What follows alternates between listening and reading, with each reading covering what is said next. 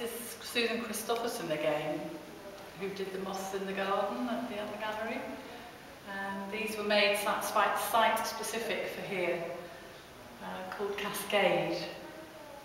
And she's folded and dyed the paper and dipped it in inks to give us this lovely effect of falling water.